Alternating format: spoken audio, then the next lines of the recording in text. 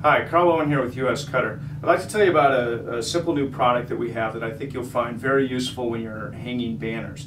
So this is our ball bungee and it's available in packs of 20 at an extremely low price. So it's about three to four inches of bungee with a, a black plastic ball. A couple nice things about these, they're extremely light without a, a, traditional hook. You can put these things in your pocket carrying around without poking or damaging any graphics.